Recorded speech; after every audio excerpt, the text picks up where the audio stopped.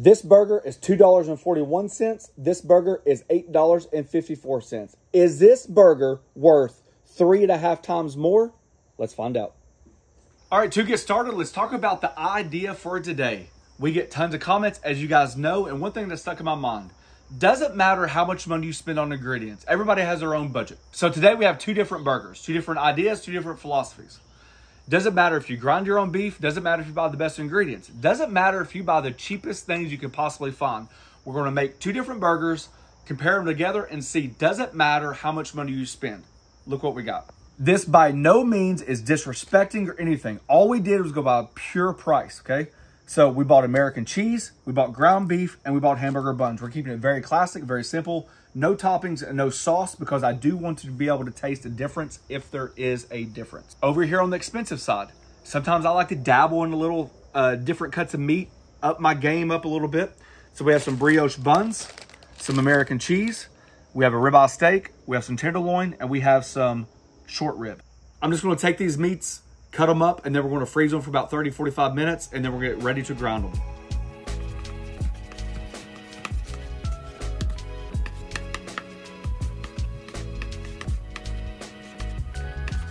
All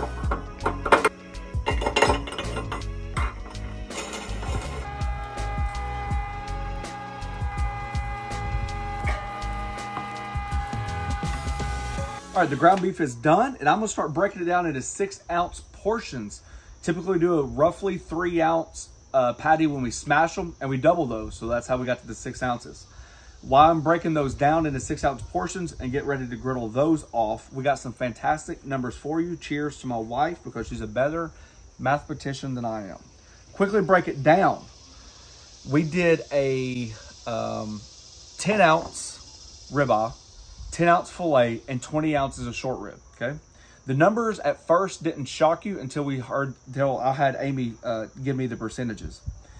The cost of the breakdown is um, $2.41 for a built burger on the cheaper side. The expensive burger that we're doing is $8.54. All right, to give you a quick rundown of the numbers another way, it's like a, what, a $6 difference. So when you look at it at that point, six times four for an average family of four, that's 24 bucks. That is a huge difference. So will it make a difference in the long run? We're going to find out. I love this little Weber, Weber mold. Makes the greatest little patties. Look at there.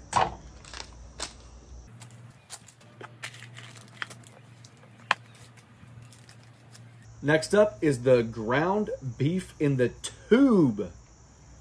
Fantastic difference. Look, I'm sure you could find cheaper ground beef and I'm sure you could find more expensive items to add to your fresh ground chuck. One thing I wanted to do is kind of just go like the grocery store route. We didn't go to a specialty store or anything like that. So I just want to keep it just about as normal as possible. You you gotta be kidding me. You couldn't make that up Honey, if you tried. way in the press. Oh, well. Doesn't matter. It was a right on six. I was like, golly, that's a short six. I've heard that forever.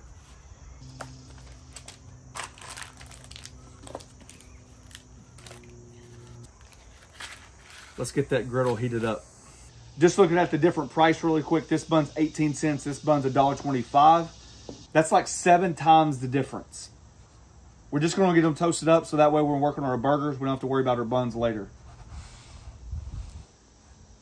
I'm just coming back in here and just making that burger just a hair smaller since the uh, those other buns are so much smaller. So we're looking about a 500 degree griddle and we're just going to cook these to about a medium. You would think, obviously, that we would add smash that since we created it for burgers. But somebody commented uh, a couple days ago on a video and said that they've been looking around and testing different ones. They ordered our seasoning. they tried to shake that, and they put it on burgers and absolutely loved it. We've been doing shake that on burger or steaks lately. So I thought since it's the beef con, why not try it out, see what he's talking about. I don't even know if I've ever tried it myself. So salt, pepper, garlic, and burger, uh, butter burger. And I thought it'd be a little bit more neutral flavor besides the burger seasoning with all the extra stuff in there. So that's what we're gonna season the, the burgers with.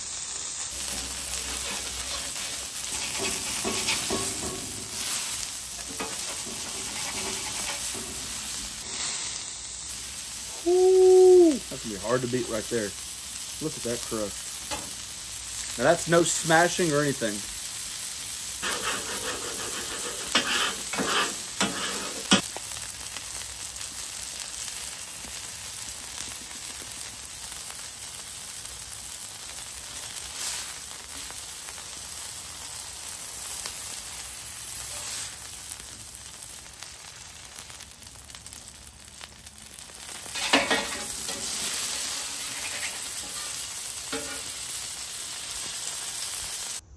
Right, the burgers are done. We'll just allow them to rest. I think it's key. Uh, the one thing I noticed right away when I was cooking it uh, on the flip side, the first time we flipped was the fresh ground steak burger was able to hold its shape more naturally. I thought that this burger from the pre-ground package poofed up a lot more, uh, really became a lot taller. Um, that's probably because even when I was packing it, it felt like it was tight to begin with. So that moisture tries to escape and it just, it's almost like the idea of like a muffin or a baked good. Um, you can see the difference in the cheese quality. Both had great crust. So I'm gonna try to keep my unbiased opinion. That goes there. Nah, look at that little bun. That's why I shortened that burger up a little bit. Because if not, it'd be hanging out all over the edge.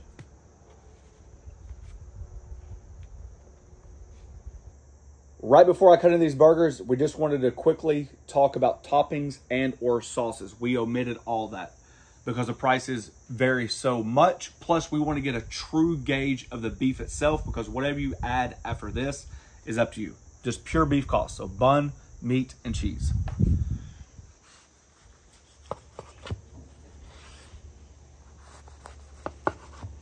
Well, that's tender. Woo!